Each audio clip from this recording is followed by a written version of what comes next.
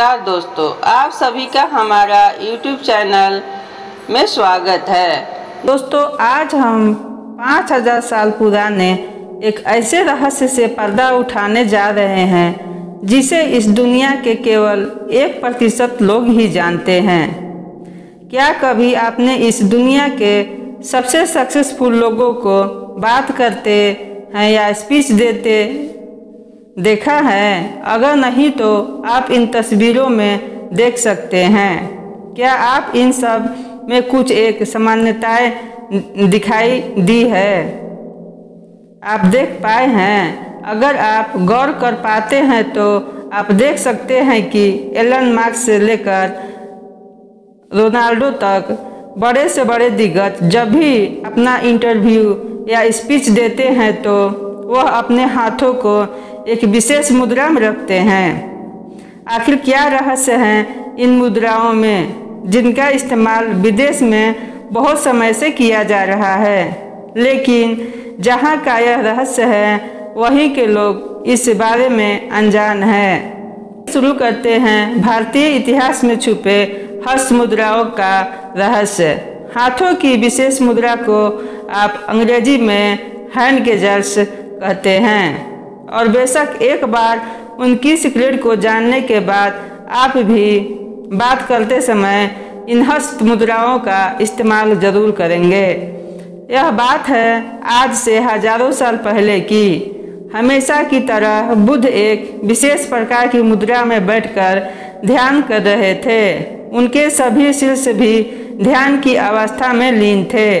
कुछ घंटे बाद जब बुद्ध ध्यान अवस्था से बाहर आए तो एक शिष्य ने उनके हाथ की विशेष मुद्रा पर प्रश्न किया, शिष्य को गुरुकुल में आए अभी कुछ ही समय हुआ था, इसीलिए उसे बुद्ध के विशेष मुद्रा में बैठकर ध्यान करने का रहस्य नहीं पता था। बुद्ध मुस्कुराए, उन्होंने उस प्यारे शिष्य को अपने पास बुलाया। और कहा, आओ शिष्य, मैं तुम्हें इस संसार के सबसे प्राचीन रहस्य के बारे में बताता हूँ हस्त मुद्राओं का यह रहस्य आज भी बहुत विशेष है, क्योंकि इसी रहस्य में इस पूरे ब्राह्मण के संचालन का रहस्य छुपा है यह सुनकर शिष्य ने कहा, कैसे गुरुजी? बुद्ध ने शिष्य का हाथ अपने हाथों में लिया और फिर वह समझाने लगे कि कैसे इन हाथों की विशेष मुद्राएँ हमारे जीवन को निडर, भयमुक्त दीर्घायु और शक्तिशाली बनाती है। तुम्हारे हाथों में पाँच उंगलियाँ हैं और पाँचों उंगलियों में इस ब्रह्मांड के पाँच और तत्व का समावेश है। हर उंगली में अलग तत्व है। अंगूठा अग्नि तत्व को तर्जनी वायु को मध्यमा अंतरिक्ष को और अनामिका धरती को और अंत में कनिष्ठ जल तत्व को दर्शाती है। जब हम इन पाँचों उंगलियों को किसी विशेष मुद्रा में जोड़ते हैं तो हम इन पाँचों तत्वों से बने हमारे शरीर को संतुलित कर लेते हैं। यह मुद्राएँ हमारे ज्ञान को हमारे लक्ष्य पर केंद्रित करते हैं और इनका हमारी सफलता में अभिन्न योगदान होता है।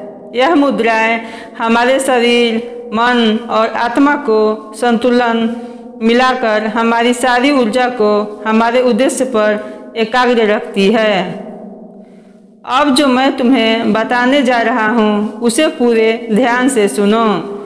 अपने हाथों के दोनों अंगूठों को भीतर की ओर तथा तर्जनी उंगली को बाहर की ओर मिलाओ।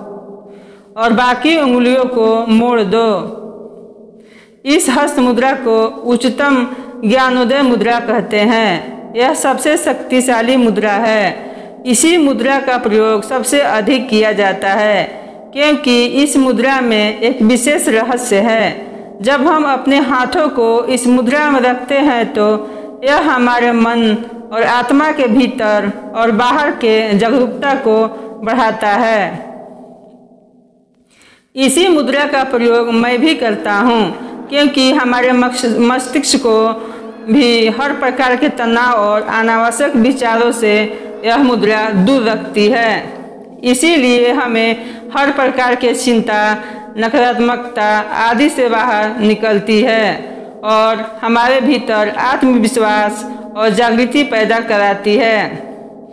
यह हमारी निर्णय लेने की शक्ति को मज़बूत बनाती है। हमें भावनात्मक रूप से एकाग्र रहती है। इससे हमारे व्यक्तित्व में एक नई चमक आती है।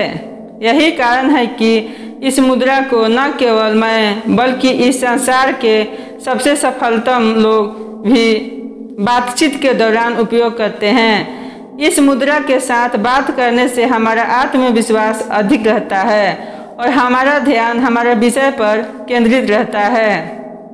उच्चतम ज्ञानोदय मुद्रा को शक्ति के प्रतीक के रूप में भी जाना जाता है, क्योंकि इस मुद्रा में बात करते समय आए नए आत्मविश्वास से ऐसा लगता है कि सामने वाला व्यक्ति पूरी तरह से सच बोल रहा है। शिष्य चुपचाप बुद्ध की बातें सुन रहा था। उसे ऐसा लग रहा था, मानो ईश्वर स्वयं उसे इस हस्त मुद्रा के विषय में बता रहे हैं। गुरु ने बताना जारी रखा और कहा, शिष्य, उच्चतम ज्ञान उदय मुद्रा तुम्हारे ज्ञान के उच्चतम स्तर तक ले जाएगा।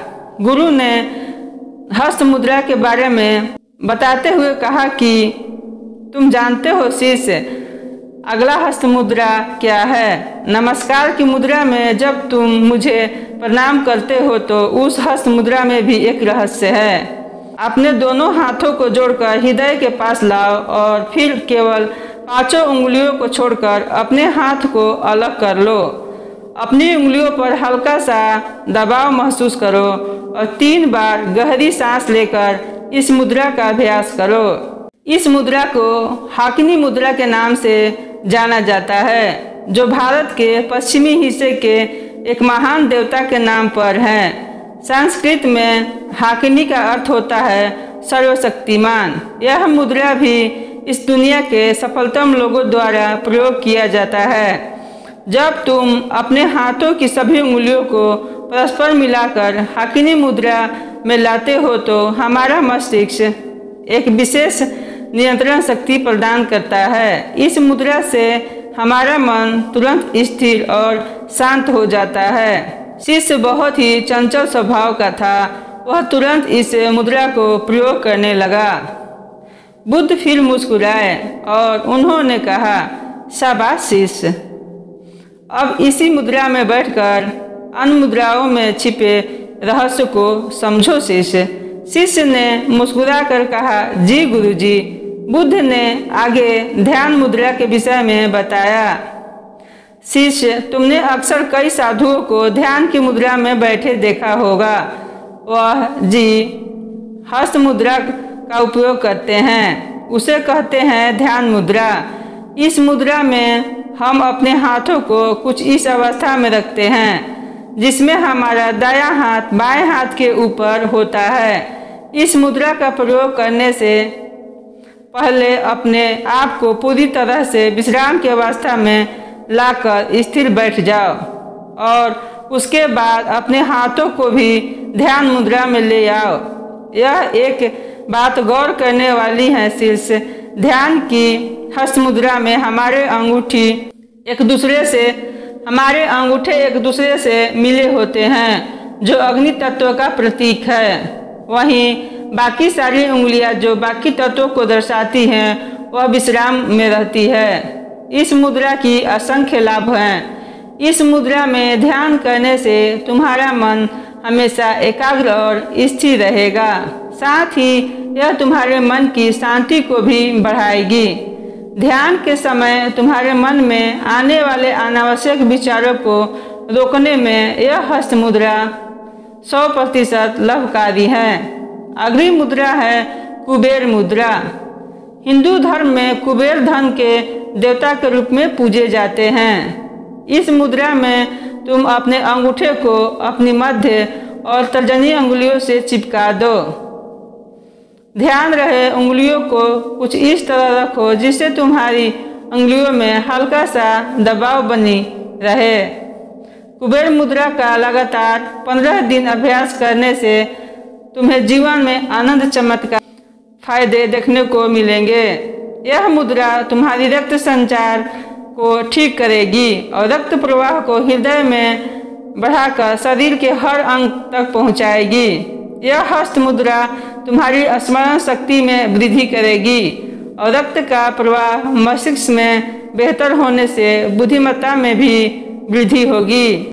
इस मुद्रा से तुम्हारा मस्तिष्क अपने लक्ष्य पर एकाग्र रहेगा और तुम्हें अपनी सफलता हासिल करने में चाहे जितनी चुनौतियाँ नज़र आए, तुम्हें उन्हें जीतने का मार्ग साफ़ दिखाई देगा, क्योंकि यह मुद्रा तुम्हारा हृदय और मस्तिष्क को विशेष प्रकार से प्रशिक्षित कर देगा। शिष्य इन सभी मुद्राओं में एक और विशेष हस्त मुद्रा है, जिसका इस्तेमाल ज्ञान प्राप्ति के लिए किया जाता है। इस चिन्ह ज्ञान मुद्रा, इसे चिन्ह ज्ञान मुद्रा कहते हैं। संस्कृत में चिन्ह का अर्थ है चेतना। तुमने देखा होगा, कई बार हम सब और अन्य बहुत से लोग भी इस मुद्रा का इस्तेमाल करते हैं। जब उन्हें साधना से ज्ञान प्राप्ति करनी होती है, योग में भी हम अक्सर इसी मुद्रा का प्रयोग करते हैं। क्योंकि यह मुद्रा ज्ञान प्राप्ति का मार्ग प्रशस्त करती है।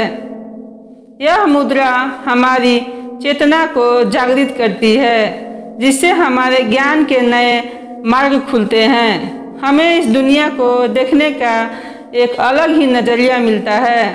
इस मुद्रा में अपने अंगूठे इतने हल्के दबाव में मिलनी चाहिए, जितने कि तुम एक कागज़ पकड़ने के लिए करते हो।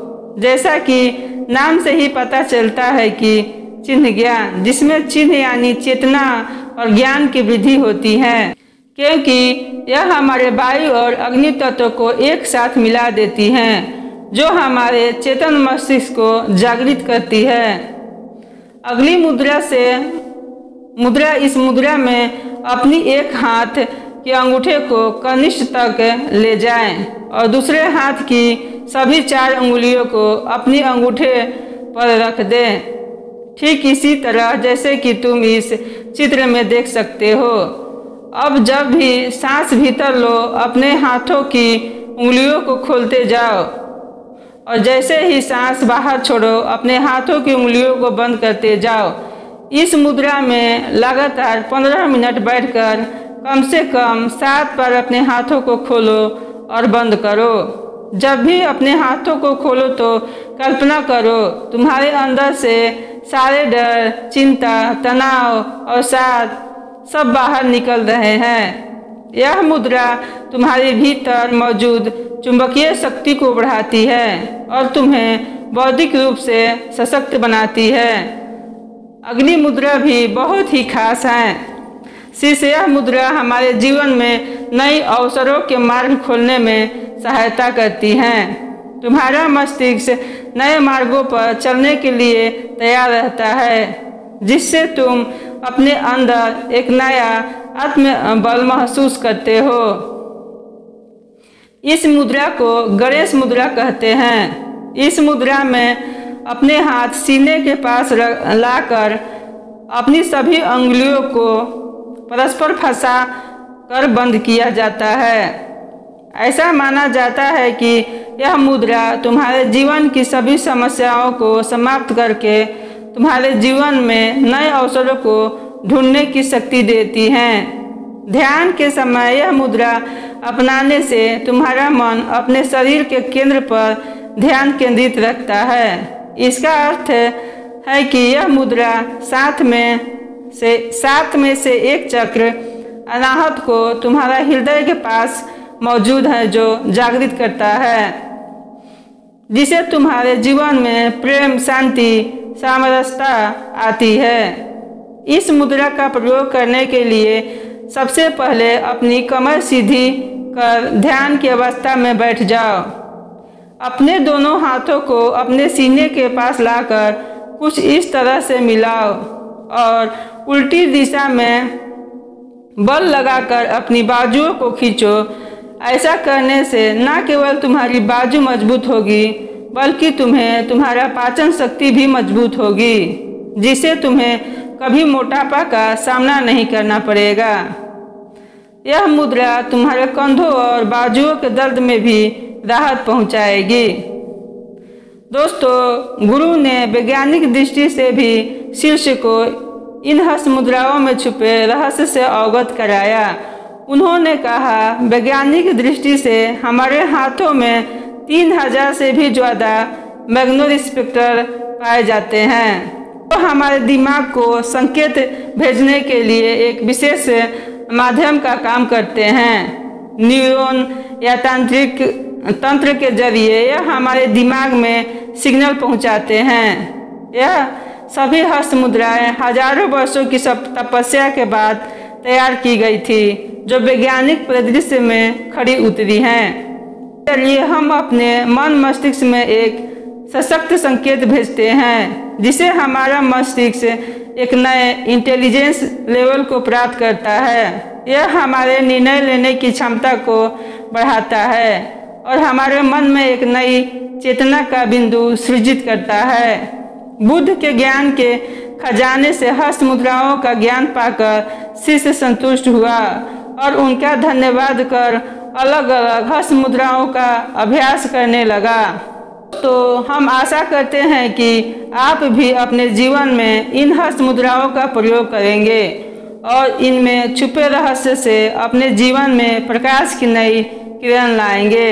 उम्मीद करते हैं कि यह कहानी आपको ज़रूर अच्छी लगी होगी। यदि वीडियो अच्छी लगी हो तो वीडियो को लाइक करें और चैनल को सब्सक्राइब करें। इस कहानी को अंत तक सुनने के लिए आपका धन्यवाद।